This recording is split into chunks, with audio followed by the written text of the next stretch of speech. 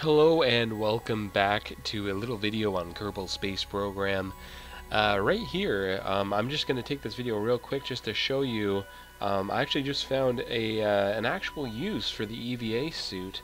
Um, a lot of times I find that I don't really see much to do with it, but here you can see this flying off here, and uh, I've got my space station over here that I've been working on, and uh, what I found was I had uh, ejected a piece and it would just kind of sit in there, right? And it would take a long time to float away. But what I did is I got Jeb here into his EVA suit, got behind it, gave it a little push, and now you can see it floating away. Um, and that would just help get your debris further away. Um, obviously, you need to be careful when you're EVA to watch your fuel. You can right click on your back here to take a look. See, I've got 80%. Um, so I'm in a pretty good place. And the other thing you need to be careful of is to not float away from your actual uh, vessel of whatever you're on. Um, you know, just a couple things to keep in mind, of course. Uh, but yeah, once you're actually out here, it's pretty beautiful.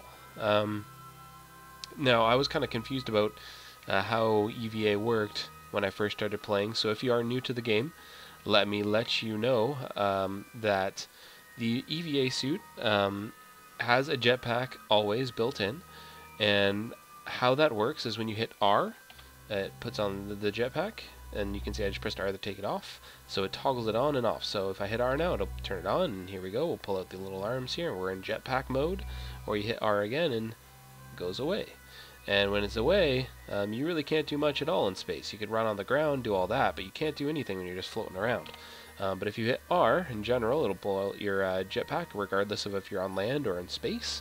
And once it's out, you can use the WASD keys to move left, right, up and down. Um, and by up and down, I mean front and back, because up and down is controlled by shift and control, kind of the way the throttle would be. So if I hit shift here, you can see me come away from it, and if I hit control, you can see me go back towards my uh, my space station here. So um, the last thing I'll do in this video is I'll go ahead and I'll climb back on board. Um, and the way you're going to do that is just go near any one of your hatch doors. And again, you want to be careful here because Jeb actually has enough mass that it is possible for me to uh, to push my space station um, slightly, which could make you know probably not a big deal, but could make it more difficult for me to enter again. Um, so you just have to go ahead and find where your hatch door is. I believe mine is on the other side here, so we're just going to float down. I hit control to bring myself down here. And once we get to the other side here, we're just going to hit shift to kind of slow ourselves down. And shift again.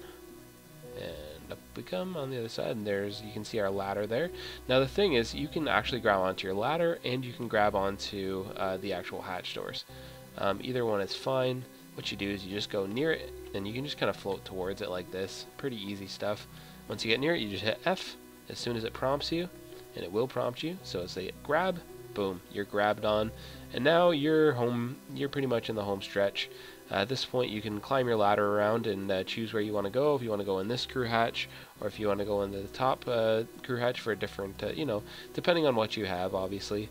Um, and that's why it's really useful to actually add ladders um, to the entire outside of your vessels and things if you have extra you know, hatches and stuff that you can go in in a space station like this, it makes it pretty sweet that you can, you know, like climb your ladder across the space station instead of having the EVA from place to place.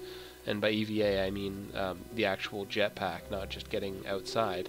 Um, because we are doing that right now. And uh, we can take a look at, you know, our beautiful planet below before we go ahead and climb back aboard. So we'll go ahead and we'll board up here. And, you know, we can go ahead and uh, take a look here. We got a bunch of uh, pals in here. That's Jeb. He's just excited because he just got back from being outside, which he loves the fresh, you know, not air, but he loves the fresh vacuum of space. He enjoys it. So, with that, thanks for watching the video. Hope you learned something. And if not, I hope you just enjoyed watching. You have yourself a great night, everybody.